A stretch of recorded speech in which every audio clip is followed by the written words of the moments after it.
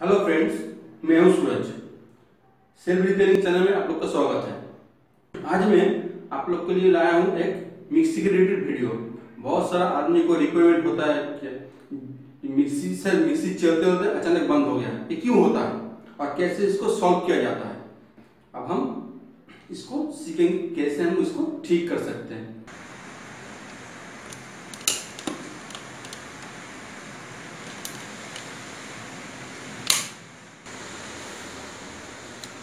देखिए फ्रेंड्स ये चल नहीं रहा है। मैं जितना भी कोशिश कर रहा हूँ, ये चल नहीं रहा है। चल नहीं रहा है। देखिए फ्रेंड्स जितना भी कोशिश कर रहा हूँ, चल नहीं रहा है। अब मैं क्या करता हूँ इसको? ये प्लग हम स्विच बंद कर देते हैं। प्लग हम खोल लेते हैं। देखिए फ्रेंड्स इसके पीछे, मिक्सी के पीछे एक छोटा सा लाल बटन रहता है। ये बाहर निकल गया है। देखिए बटन को हम प्रेस कर देते हैं।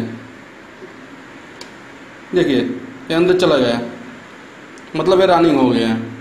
दुनिया में लगभग जितना तरीके की मिक्सी है, सब में यही सिस्टम पाया जाता है। यही ज़्यादा से ज़्यादा फॉल्ट होता है। इसके चलते हम लोग परेशान हो जाते हैं कि कैसे मिक्सी को ठीक करना मैकेनिक के पास हम लोग ले जाते हैं। मैकेनिक यही काम करता है और उसका चार्ज वो ले लेता है। चलिए हम हमको टेस्ट कर दे देखते हैं। चलिए फ्रेंड हम इसको बोतम को ठीक कर लिए। अब हम इसको चेक करके देखते हैं जो सही है या गलत।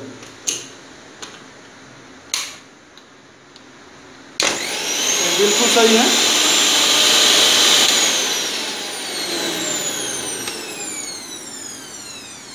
ये बिल्कुल सही है। पहले के जैसा हो गया है। मतलब ये प्रॉब्लम यही था। आप यही काम खूब आसानी से कर सकते हैं और मिक्सी को ठीक कर सकते हैं। जिसके दौरान आपको मैकेनिक के पास नहीं जाना पड़ेगा और आप खुद अपने आप मिक्सी को सेल्फ रिपेयरिंग कर सकते हैं। अगर मेरा वीडियो आप लोग को अच्छा लगा तो मेरा सपोर्ट कीजिए और मेरा वीडियो ज़्यादा से ज़्यादा शेयर कीजिए और मेरा चैनल को सब्सक्राइब ज़रूर कीजिए। धन्यवाद।